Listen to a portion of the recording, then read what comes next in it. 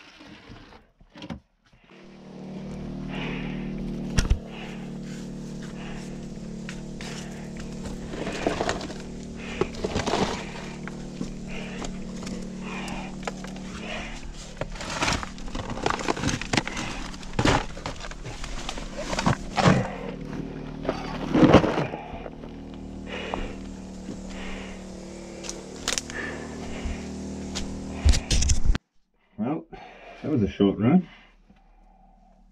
Just broke the SDS bit out of the um, little jackhammer. And I wasn't even leaning on it. uh, I suppose that's why you buy a good quality one, not a shit quality one. Oh well. Still so much more there to go, and I didn't even take that bottom bit out, which I was really excited to do. I was sort of using it as a bit of a, a ramp for everything above it, so it'd shoot down into the bucket instead of landing down there. Uh, oh well, we got a little bit of rock out.